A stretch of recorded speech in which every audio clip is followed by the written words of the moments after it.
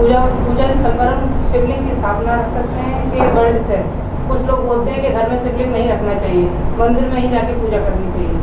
तो मैं ये जानना चाह रही थी कि मेरे घर में भी शिवलिंग रख सकते हैं मैंने उनकी पूजा घर में ही कर लेती हूँ मैं बाहर नहीं जा पाती हूँ। बहुत काम होते हैं तो बैठिए। शालग्राम नर्मदेश्वर के साथ हूँ। और घर में जो देवता पुरुष हैं वो स्पर्श। अगर यज्ञोपवित विधिवत हुआ है तो स्पर्श करके पूजन कर सकते हैं। अन्य हाथ जोड़ लें और पत्र, पुष्प, फल, चंदन आदि सब निवेदित करें जिनके माध्यम से। और घर में जो चित्रपट हैं, देवी देवता के, उनको स्वयं आरती उतारें, उनको फल आदि दें।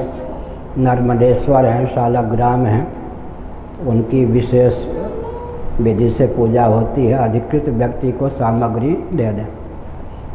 उनके हाथ से जो सामग्री होगी, वो देने वाले को उसका फल होगा। एक पिताजी की दूर से बहन लगती थी, गाँव की बात है। वो विधवा थी। और मैं स्नान करता, फिर पूजन करता फिर भोजन करके विद्यालय जाता। तो मेरे पास गर्मी के दिनों में 25-25 साल ग्राम हो जाते।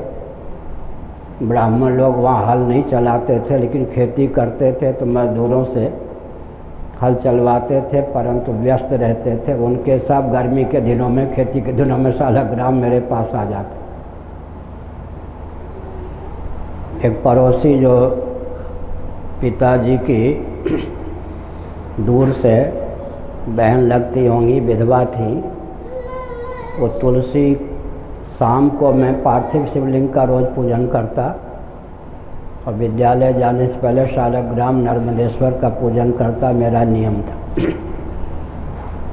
तो तुलसी दल पर राम चंदन से और बिलपत पर शिव लिखती और मेरे पास भेजती कि चढ़ा दो।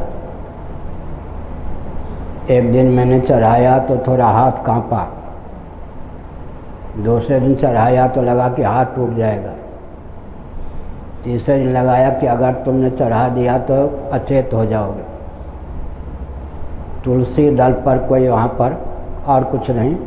राम चंदन से ऐसे लिखा हुआ। और बेलपत्र के दल पर शिव मैंने बड़ी बहन जी से कहा, ये स्थिति मेरी हुई है। आज लगता है अगर ये चढ़ा दिया तो बेहोश हो जाऊँगा। तो उनसे पूछ लें कि किस भावना से ये तुलसी मेरे पास भेजती हैं बिलपत्र। तो बहन जी ने जाके कहा, सच सच बताइए। वो झूठ बोलता नहीं। उसकी ये दशा है कि आज कहता है कि अगर मैं ये बिलपत्र चढ़ा दूँ तुलसी तो बेहोश हो जाऊँगा।